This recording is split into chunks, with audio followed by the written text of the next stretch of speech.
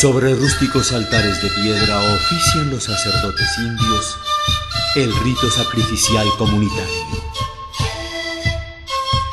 Libremente ofrece su pecho el joven indio para que el cuchillo de piedra haga brotar su sangre que calme la sed insaciable del dios Sol.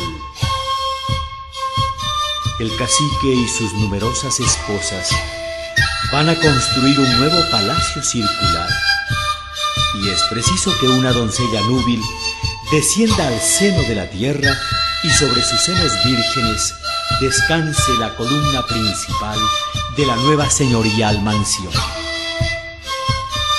Ritos de sangre, ritos de muerte, para que de allí brote abundante la vida.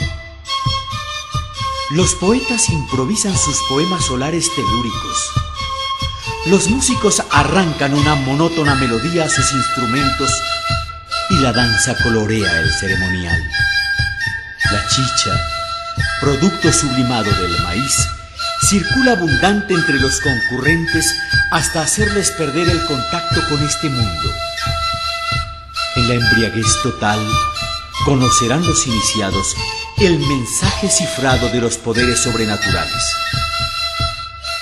Lo que no sabes, indio de América India, es que la pesadilla de tu embriaguez sacralizada será mañana tu más terrible realidad.